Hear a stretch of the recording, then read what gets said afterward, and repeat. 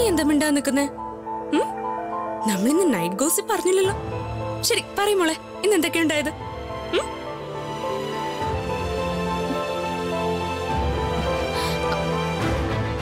അവനി? മോളെ എന്താ ഉണ്ടായത്? അവനി നീ കരയുന്ന എന്തിനാ? എന്തു പറ്റി മോളെ? അമ്മ എന്റെ ജീവിതം എന്താ എപ്പോഴും? ഇങ്ങനെ ശപിക്കപ്പെട്ടതായി മാറുന്ന വേണ്ടപ്പെട്ടവർ ഇത്ര അടുത്തുണ്ടായിട്ട് കൂടി എനിക്ക് എന്തുകൊണ്ട് ദൂരെ നിൽക്കേണ്ടി വരുന്നു? അമ്മയും മോളെ എന്താ പറ്റിയെന്ന് നീ അല്ലി അലി അലിയെ കണ്ടു ഞാൻ ഇന്ന് എന്താ? അതെ അമ്മ. അവനെ കണ്ടപ്പോ കാലം കടന്നു പോയെന്ന് തോന്നിയതേയില്ല. എന്റെ അല്ല ഇപ്പോഴും അതുപോലെ തന്നെ. പക്ഷെ കുറച്ച് മെലിഞ്ഞു പോയി. അവൻ എന്റെ ഓരോ കാര്യം ഓർമ്മയുണ്ടമ്മ. ഞാൻ എന്റെ പുലാവ് എല്ലാം. നിന്നെ കണ്ടപ്പോ അലിക്ക് മനസ്സിലായോ? ഇല്ലമ്മ ഞാൻ എന്നോട് തന്നെ പ്രോമിസ് ചെയ്തിരുന്നില്ലേ? അവനെ ഈ ലോകത്ത് നിന്ന് തന്നെ ഇല്ലാതായിന്ന്. പക്ഷെ എനിക്ക് അലിയെ കണ്ടപ്പോ തോന്നി. അവനെ അലിക്കുള്ളിൽ എപ്പോഴും ജീവിച്ചിരിക്കുന്നുണ്ടെന്ന്. വളരെ പ്രയാസപ്പെട്ട ഞാൻ എന്നെ തന്നെ കൺട്രോൾ ചെയ്തത്.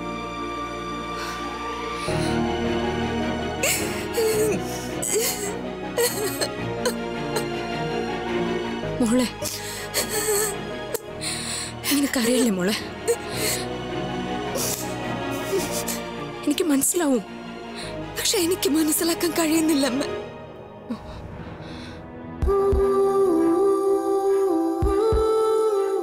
ഇന്ന് അവൻ എന്റെ അടുത്ത് വന്നപ്പോ ഒന്ന് ഹഗ് ചെയ്യുന്നത് പോയിട്ട് ഒന്ന് നോക്കാൻ കൂടി കഴിഞ്ഞില്ലമ്മ. ആ സമയത്ത് ഒരു വാക്ക് കൂടി പറയാനും കഴിഞ്ഞില്ല.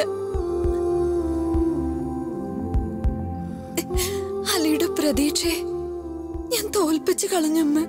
ഇങ്ങോട്ട് നോക്ക്. മരിച്ചുപോയ അവനെ പറ്റി നീ എന്തിനാ വെറുതെ ചിന്തിക്കുന്നത് അനന്യ? അലിയെ പറ്റി ഓർക്കുമ്പോ എനിക്ക് ഒരുപാട് വിഷമമുണ്ട്. പക്ഷെ ഈ സമയം ഈ സമയത്ത് എപ്പോഴും നിന്റെ കണ്ണുകൾ ലക്ഷ്യത്തിൽ തന്നെ ഊന്നണം. ഇവിടെ നീ എന്തിനാ വന്നതെന്ന് ഒരിക്കലും മറക്കരുത്. അലിക്ക് വേണ്ടിയല്ല നീ ഇവിടെ വന്നത്. നിന്റെ അനിയൻ അവന് വേണ്ടിയാ. അതൊരിക്കലും മറക്കരുത്.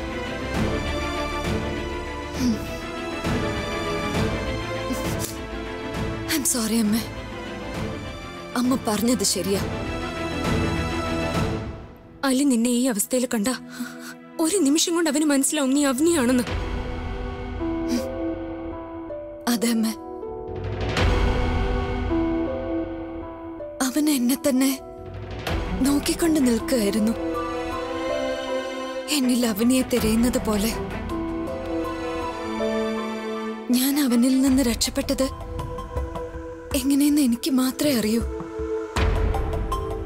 നീ സഞ്ചരിക്കുന്ന വഴിയുണ്ടല്ലോ അവനി അവിടെ ശത്രുക്കളെ തോൽപ്പിക്കുന്നതിന് വേണ്ടി ഒരുപാട് കടമ്പകൾ കടക്കേണ്ടി വരും. വേണ്ടപ്പെട്ടവരിൽ നിന്നും സ്വയം അകന്നു നിൽക്കേണ്ടി വരും നമുക്ക്. അലി ഇപ്പോഴും എനിക്കെതിരെ ഒരു വാക്ക് പോലും കേട്ടു നിൽക്കില്ല. അല്ലി നിനക്ക് എന്താ പറ്റിയത്? അഗ്നി മോളെ ഞാൻ പറയുന്നൊന്ന് മനസ്സിലാക്ക. നിന്റെ ഇമോഷൻസ് നിന്നിൽ പ്രതിഫലിക്കാൻ അനുവദിക്കരുത്. അയാൾ ഇപ്പോഴും ഒരു ചാരനെ പോലെ എന്റെ പുറകെ ഉണ്ട് ആര്? ആ നീരജ്. അയാൾ അവിടെയും വന്നു.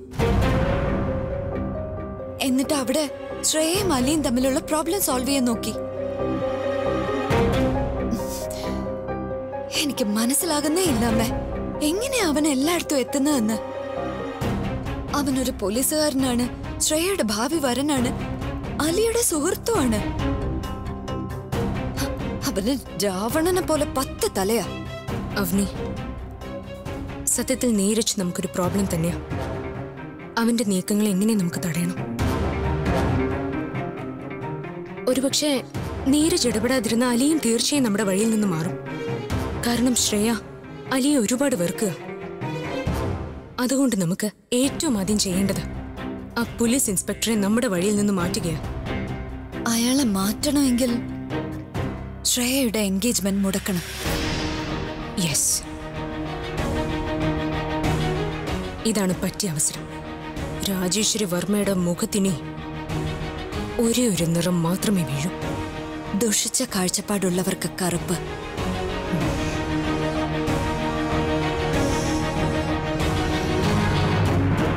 ഓ ടില്ലു മൈ സൂപ്പർ പോലീസ് എവിടെയാ നീ ഇപ്പോ? ഒന്ന് പെട്ടെന്നാവട്ടെ. ഞാൻ വളരെ കഷ്ടപ്പെട്ട എന്നെ തന്നെ ബ്രെയിൻ വാഷ് ചെയ്തത്. ഞാൻ ശ്രേയുടെ വീട്ടിൽ പോവാ. ഒന്ന് വേഗം വാ. വരുന്നമ്മേ. ഷോ ഇവൻ ജോലി കാര്യം എന്താന്നറിയോ? ഞാൻ വളരെ എക്സൈറ്റഡാ സൈറ്റ് സീൻ കാണാൻ വേണ്ടി. ഇത്തവണ രാജേശ്വരി വർമ്മ നമ്മളെ സ്വീകരിക്കുന്ന എന്താ ചെയ്തിരിക്കുന്നെന്ന് അറിയണമല്ലോ. ഞാനും ഒന്ന് കാണട്ടെ. ഓ my god this handsome boy ശ്വേതേ thank you very much for your kind words you are welcome ചേട്ടാ. പക്ഷെ എന്റെ ഒരു റിക്വസ്റ്റ് എന്താണെന്ന് വെച്ചാൽ ഈ ഡ്രസ്സ് വളരെ വിലപിടിപ്പുള്ള ഒന്നാ. ഇത്ര വില കൂടിയ വസ്ത്രം ധരിച്ച് ആരാ ഹോളിക്ക് പോകുന്നത്? ഞാൻ. സത്യം പറയേ. ടോട്ടൽ എത്ര കൊടുത്തു ഇതിന് ഓ പ്രകാശ് ഏട്ടാ വളരെ വില കുറവാ പക്ഷെ ഞാനാ ഇതിനെ കോംപ്ലിക്കേറ്റ് ആക്കിയത് എന്റെ ഡിസൈനർ വെയർ കൊണ്ട്. നീ ഇത് എങ്ങനെയാണ് കോമ്പൻസേറ്റ് ആക്കിയതെന്ന് എനിക്ക് മനസ്സിലാവുന്നേ ഇല്ല. അതെന്താ? എന്താണെന്നറിയോ നീ എന്ത് ധരിച്ചാലും കാണാൻ വളരെ സുന്ദരിയാ.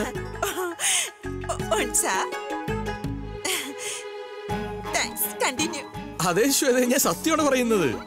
നിന്നെ പോലെ സുന്ദരിയായ ഒരു ഭാര്യ ഈ ലോകത്ത് ആർക്കും തന്നെ ഉണ്ടാവില്ല. അറിയോ? നീ എന്നെ തനിച്ചാക്കി അമ്മയുടെ വീട്ടിൽ പോകുമ്പോ രാവിലെ ഗാർഡനിൽ ചെടിക്ക് വെള്ളം ഒഴിക്കുന്ന സമയത്ത് എനിക്ക് നിന്നെ ഒത്തിരി ഓർമ്മ വരും. ഓ എനിക്ക് വയ്യ. ഏ അല്ലല്ല നിന്നെ പുകഴ്ത്തിയാണെന്ന് വിചാരിക്കണ്ട. ഞാൻ പറഞ്ഞു വന്നത് എന്താന്ന് വെച്ചാ ഇത്രയും വില കൂടിയ ഡ്രസ്സ് ആദ്യം പാർട്ടിക്ക് പോകുമ്പോ ഇടണോ? അതോ നീരജിന്റെ വിവാഹത്തിന് ഇടണോ? അതോ ഹോളി? ഓ പ്രകാശ് ഏട്ടാ യു ആർ ടു മച്ച് ലെസ്സാ ലേറ്റർ ഈസ് ലേറ്റർ ശ്വേതേ ഞാൻ പറയുന്ന ഒന്ന് കേൾക്ക്. എപ്പോഴും മനുഷ്യൻ ആദ്യത്തേത് പിന്നീട് ചിന്തിക്കണം. പിന്നീടുള്ളത് ആദ്യവും. ഞാൻ നിനക്ക് ഡ്രസ്സ് ചെയ്യേണ്ട രീതി പറഞ്ഞുതരാം. കാര്യം ഇതാ. ഡ്രസ്സിന്റെ ശരിയായ ഉപയോഗം അതിനെ നമ്മൾ ഏതെങ്കിലും പാർട്ടിക്ക് ധരിക്കുമ്പോഴാണ് ഉണ്ടാവുന്നത്. പാർട്ടിക്ക് ധരിച്ചു കഴിഞ്ഞാൽ പിന്നെ അതിനെ നമ്മൾ വീട്ടിൽ ധരിച്ചു നടക്കണം. വീട്ടിലിട്ട് മടുത്തു കഴിഞ്ഞാൽ പിന്നെ അതിനെ നമ്മൾ നൈറ്റ് സൂട്ടാക്കി മാറ്റണം. കുറച്ചു ദിവസം നൈറ്റ് സൂട്ടാക്കി ഉപയോഗിച്ചിട്ട് അതിനെ വീടിന്റെ തറ തറ തുടയ്ക്കാനായിട്ട് എടുക്കണം. മനസ്സിലായോ നിനക്ക്? അതല്ലേ ഞാൻ പറഞ്ഞു വരുന്നത്. പുറത്തിടുമ്പോ ഡ്രസ് അല്ലാത്തപ്പോ പഴം തുണി. ഓ മതി മതി. അതിങ്ങോട്ട് തന്നെ. നിങ്ങളുണ്ടല്ലോ ഒരു കുഴി മടിയനാ. നിങ്ങൾ രണ്ട് രണ്ട് കാര്യത്തിനെ വാ തുറക്കും സംസാരിക്കാനും പിന്നെ ഭക്ഷണം കഴിക്കാനും. ഒന്ന് വേഗം ആവട്ടെ ടില്ലു വാ.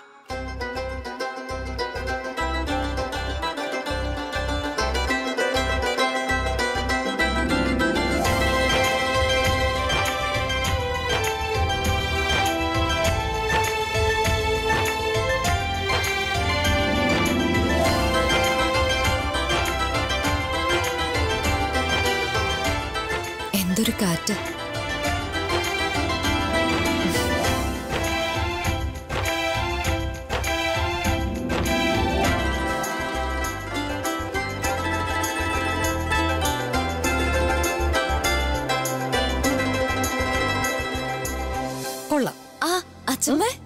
വേണ്ട വേണ്ട വേണ്ട.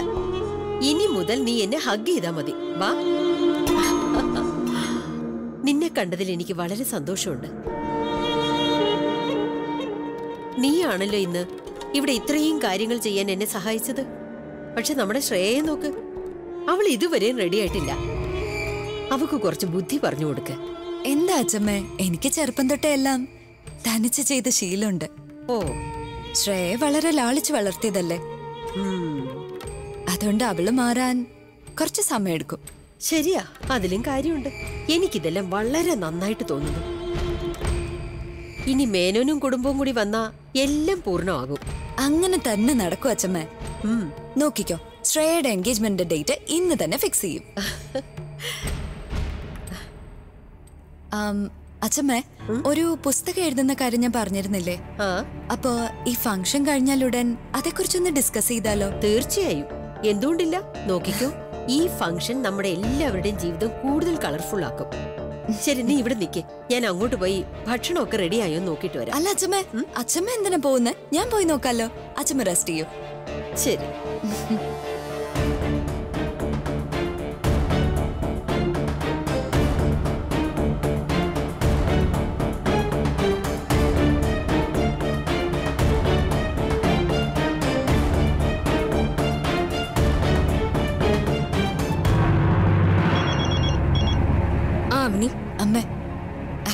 സമയമായി. ഒരു കാര്യം ചെയ്യണം. നീരജു അവന്റെ ഫാമിലിയും ഇന്ന് ഹോളി ഫംഗ്ഷൻ ഇവിടെ എത്താൻ പാടില്ല. അങ്ങനെ തന്നെ നടക്കും അവനെ ഇന്ന് സന്തോഷമല്ല? ദുഃഖത്തിന്റെ നിറമ രാജേശ്വരിയുടെ വീട്ടിൽ നിറയുക. അത് കാണാനാ ഞാൻ ഇവിടെ വന്നതമ്മേ ശരി. അമ്മ പ്ലാൻ തുടങ്ങിക്കോ. Bye bye.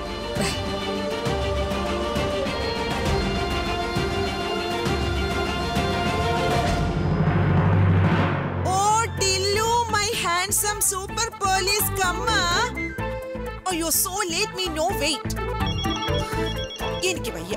ആരും എന്നെ സമാധാനത്തോടെ ഇരിക്കാനേ സമ്മതിക്കില്ല. ആ ശ്വേത ഞാൻ ആ സാൻഡ്വിച്ചിന് വേണ്ടി ഓർഡർ ചെയ്തിരുന്നു. അവരായിരിക്കും ഒന്ന് അറ്റൻഡ് ചെയ്യും. You are too much, ആ?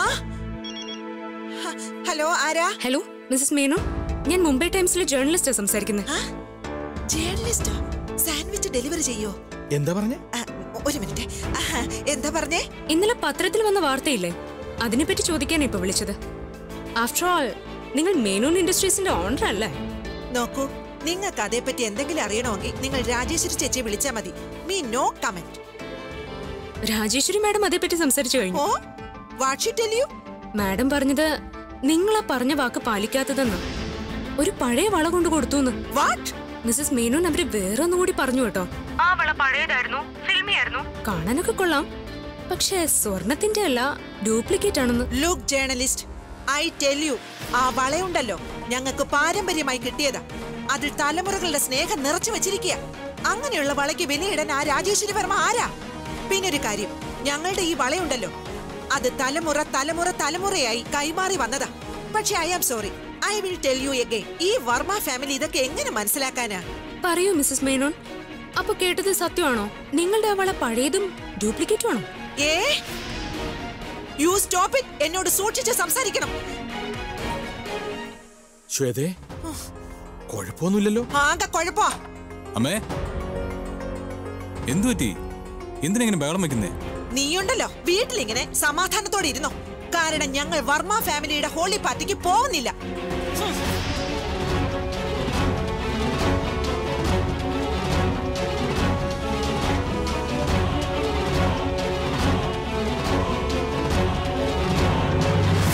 അമ്മയ്ക്ക് ലാസ്റ്റ് കോള റിപ്പോർട്ടർ ആയിരുന്നു അല്ലേ? ഓക്കെ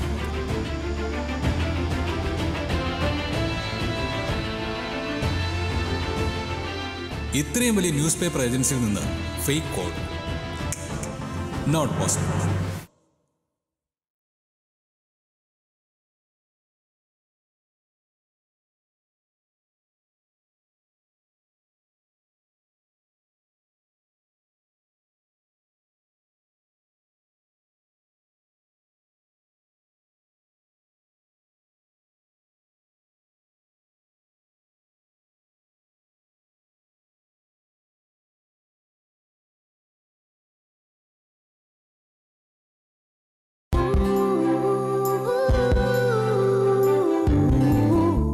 അവിടെയല്ലേ ശരിയാക്കി വെക്ക്. ശാലി എല്ലാം റെഡിയാണല്ലോ.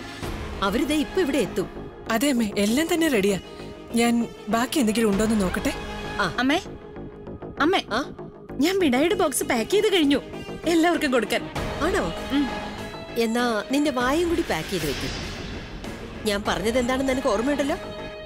ശ്വേതയോട് നീ മാപ്പ് പറഞ്ഞിരിക്കണം.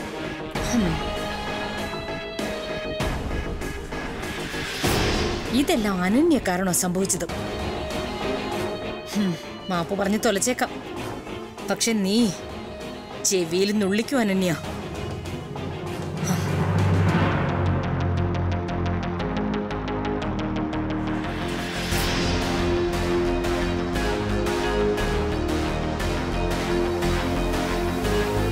നിങ്ങളുടെ ചീത്ത സമയം തുടങ്ങിയിട്ടൊന്നുമില്ല മിസസ് വർമ്മ. അതിന് കുറച്ചുകൂടെ വെയിറ്റ് ചെയ്താൽ മതി. Happy Holi happy Holi let's look a selfie let's pout ഇത് അപ്ലോഡ് ചെയ്യാം. Hashtag Holi with bestie hashtag waiting for fiancé post Neeraj എത്താറായി കാണും. ഐ എം സോ എക്സൈറ്റഡ് ഒരുപക്ഷെ നീരജിന്റെ ഫാമിലി പാർട്ടിക്ക് വരാതിരുന്നാൽ ഞാൻ എന്റെ ഫ്രണ്ട്സിന്റെ മുമ്പിൽ എന്തുമാത്രം നാണം കെടേണ്ടി വരും? ആ ന്യൂസിലാൻഡിലുള്ള ഫ്രണ്ട്സ് ഇല്ലേ?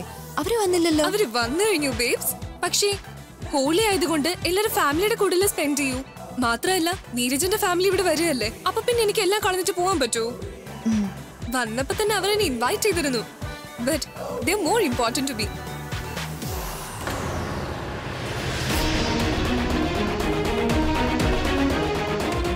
ആലോചിക്കായിരുന്നു. നീരജ് വരുമ്പോ ശ്രേയ ഒരു മിനിറ്റ്. ഞാൻ ഇപ്പൊ വരാം. ഓക്കെ എന്തി ലെറ്റ്സ് ലിക്ക് എ സെൽഫി പേരും കള്ളി പേരും കള്ളിയാ രാജേശ്വരി വർമ്മ. കാണുമ്പോ പഞ്ചാര വർത്താനമൊക്കെ പറയും. പക്ഷെ അവസരം കിട്ടിയാൽ പുറകിന്ന് കുത്താനും മടിക്കില്ല. അമ്മ എന്താ സംഭവിച്ചത്? എന്റെ പൊന്നു ടില്ലു എന്താണ് സംഭവിക്കാത്തതെന്ന് ചോദിക്കേ. അറിയോ? നിന്റെ ശ്രേയയുടെ അച്ഛമ്മ ആ പ്രസ്സുകാരുടെ മുന്നിൽ എന്നെ നാണം കെടുത്തി. എന്താ പറഞ്ഞെന്നറിയോ? എൻഗേജ്മെന്റിന് ഞാൻ ശ്രേയയ്ക്ക് ഡ്യൂപ്ലിക്കേറ്റ് വള കൊടുത്തെന്ന്. ഈ ടിവിയിലും സിനിമയിലും ഷൂട്ടിങ്ങിന് ഉപയോഗിക്കുന്ന വളകളെ പോലെ അവയെന്ന്. ഇനി ചേട്ടൻ തന്നെ പറയേ മേനോൻ ഇൻഡസ്ട്രിയുടെ ഷെയറുകൾ അവരുടേതിനേക്കാൾ വളരെ കൂടുതലാ. പിന്നെ നമുക്ക് എന്ത് കാര്യത്തിലാ ഒരു കുറവ്? അല്ലേ ചേട്ടാ? പിന്നെ ഒരു മിനിറ്റ്. അച്ഛാ പ്ലീസ്. അമ്മേ അമ്മ കുറച്ചു നേരം ഒന്ന് സമാധാനപ്പെട്. പ്ലീസ് എന്നിട്ട് ആരുടെ കൊള വന്നതെന്ന് പറയും. മോനെ ടില്ലു ഏതോ ജേർണലിസ്റ്റിന്റെ ഫോണാ വന്നത്. ആ കുട്ടിക്ക് നല്ലതേ വരും. അവളാ എന്നോട് പറഞ്ഞത് രാജേശ്വരി വർമ്മ നമ്മളെ കുറിച്ച് എന്തൊക്കെയാണ് ചിന്തിച്ചു വെച്ചിരിക്കുന്നതെന്ന്. അല്ലായിരുന്നെങ്കിലോ? അമ്മേ അമ്മ ആലോചിച്ച് പറഞ്ഞാ മതി ആ ന്യൂസ് പേപ്പറിന്റെ പേരെന്തായിരുന്നു? നീ അതിന്റെ പേരെന്തിനാ ചോദിക്കുന്നേ? ഇവിടെ മേനോൻ കുടുംബത്തിന്റെ സത്പേരുണ്ടല്ലോ അത് മുങ്ങിക്കൊണ്ടിരിക്കുക കേട്ടോ? മേനോൻ കുടുംബത്തിന്റെ പേരെന്താ? ബോട്ടൊന്നും വല്ലതാണോ അതിൽ ദ്വാരം വീണ് മുങ്ങാനായിട്ട്. അയ്യോ പ്രകാശ് ഏട്ടാ സ്റ്റോപ്പ്. അല്ലെങ്കിലും പോകാൻ പറ വർമ്മ കുടുംബത്തെയും അവരുടെ ഹോളിയെയും. അവരുടെ ഒരു അമ്മേ. എന്താ? ന്യൂസ് പേപ്പറിന്റെ പേര്. മോനെ എനിക്ക് ആ ന്യൂസ് പേപ്പറിന്റെ പേര് ഓർമ്മയില്ല. ഇല്ലില്ല. ഒരു മിനിറ്റ്. ഓർമ്മ വന്നു. മുംബൈ ടൈംസ്. ആ. ഈ അനന്യ അച്ഛമ്മയുടെ ഒരു ഇന്റർവ്യൂ ഫിക്സ് ചെയ്തു. ടൈംസ്. മുംബൈ ടൈംസ്. ഒരു സെക്കൻഡ്. ഏ ഏ ടില്ലു നീ എന്താ ചെയ്യുന്നേ? അമ്മയുടെ കോൾ സെർച്ചിങ് നടത്തുന്ന എന്തിനാ? അമ്മയ്ക്ക് ലാസ്റ്റ് കോള റിപ്പോർട്ടർ ആയിരുന്നു അല്ലേ? ആ. ഓക്കെ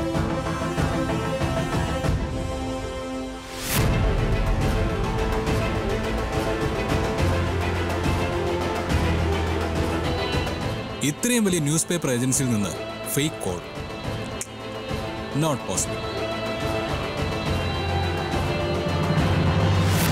Rajeshwara വർമ്മയെ കുറിച്ചുള്ള ഒരു ന്യൂസ് പബ്ലിഷ് ചെയ്തല്ലോ. ആ സ്റ്റോറി ആരാ കവർ ചെയ്തത്? ഇത് ഞങ്ങളുടെ പേപ്പറിൽ നിന്ന് ആരും കവർ ചെയ്തിട്ടില്ല. ഇന്ന് വീണ്ടും ഒരിക്കൽ കൂടി രാജേശ്വരി വർമ്മ വിജയത്തിലേക്ക് തിരിച്ചു വന്നു. അങ്ങനെ പെട്ടെന്ന് ജയിച്ചു എന്ന് കരുതി ആഘോഷിക്കേണ്ട മിസസ് വർമ്മ. ശരിയായിട്ടുള്ള കളി ഇനിയും തുടങ്ങിയിട്ട് കൂടിയില്ല.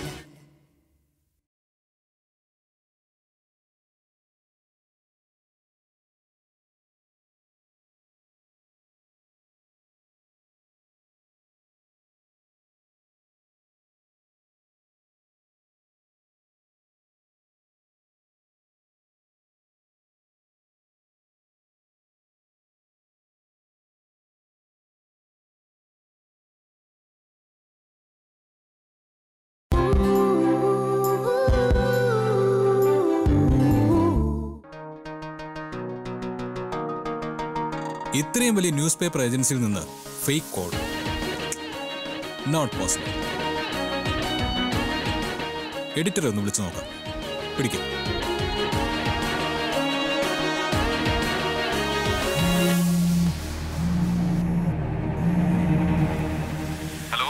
എഡിറ്റർ സാർ എന്തൊക്കെയുണ്ട്? സുഖമാണോ? പറയൂ നീര സാർ എന്താണ് ഈ സമയത്ത്? രാജേശ്വരി വർമ്മയെ കുറിച്ചുള്ള ഒരു ന്യൂസ് പബ്ലിഷ് ചെയ്തല്ലോ. ആ സ്റ്റോറി ആരാ കവർ ചെയ്തത്? ആക്ച്വലി അമ്മയ്ക്കൊരു കോൾ വന്നിരുന്നു. ഒരു പെൺകുട്ടിയുടെ. ഇത് ഞങ്ങളുടെ പേപ്പറിൽ നിന്ന് ആരും കവർ ചെയ്തിട്ടില്ല.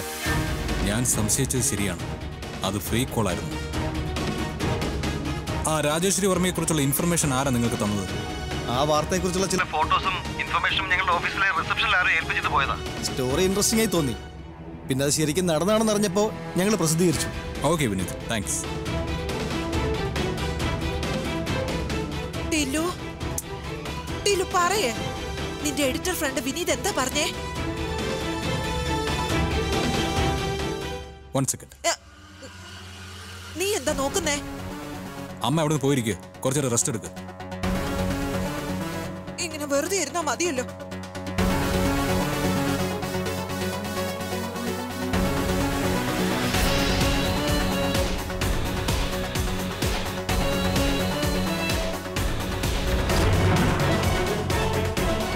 നിഷ ആന്റിയും അനന്യയും ഒഴിച്ച് ബാക്കി എല്ലാവരുടെ ഫോട്ടോയും ഉണ്ട്. പക്ഷെ നിഷ ആന്റി സ്വന്തം കുടുംബത്തെ എന്തിനു നാണം കെടുത്തണം? പിന്നെയുള്ളത് അനന്യ. അച്ഛമ്മ ആ മീഡിയക്കാർ വന്നിട്ടുണ്ട്. അച്ഛമ്മ തന്നെ അവരെ വെൽക്കം ചെയ്യണം. നല്ല രീതിയിൽ പെരുമാറുമ്പോ അവരെ അച്ഛമ്മയെ കുറിച്ച് നല്ല ആർട്ടിക്കിൾസ് എഴുതും. ശരി.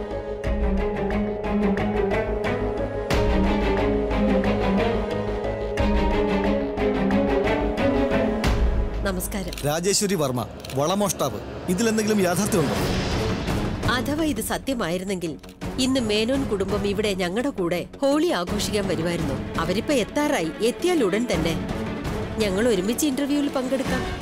അതുവരെ നിങ്ങൾ എല്ലാവരും എന്തെങ്കിലും കഴിച്ചിട്ട് റെസ്റ്റ് എടുക്കും? ശാലിനി നിഷ ഇവർക്ക് ഭക്ഷണത്തിന് ഏർപ്പാട് ചെയ്യൂ. ശരിയമ്മേ. വരൂ.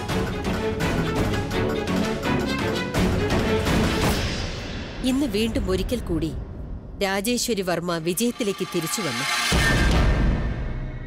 താങ്ക് യു സോ മച്ച്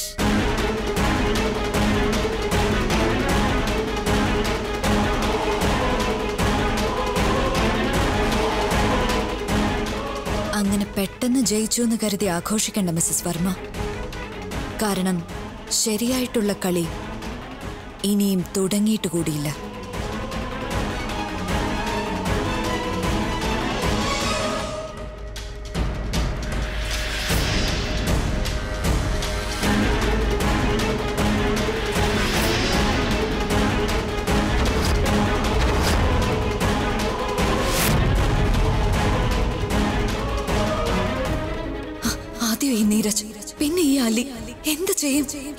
രക്ഷപ്പെടും. ശരിക്കും ആരാ നീ? നീ എന്തിനാ ഇവിടെ വന്നത്? അതിന്റെ ഉത്തരം നീ പറഞ്ഞേ മതിയാകും. അനന്യ നമ്പ്യാർ.